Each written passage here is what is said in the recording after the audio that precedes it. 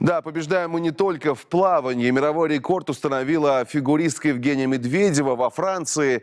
Она не просто стала первой в короткой программе, но сделала это, набрав самый высокий балл в истории Гран-при. Выступление 17-летней спортсменки судьи оценили в 79,21 балла.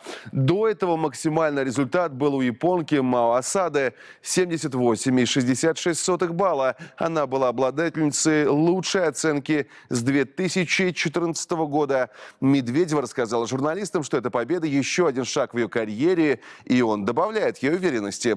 11 декабря спортсмены покажут свою произвольную программу. Владимир Морозов, Евгения Тарасова оказались лучшей спортивной парой в финале серии Гран-при по фигурному катанию во Франции. За короткую и произвольную программы наши спортсмены набрали в сумме 213,85 балла. Победа первые в их карьере, и таким образом они опередили китайскую пару канадцев. Еще один российский дуэт Наталья Забияка и Александр Энберт стали четвертыми.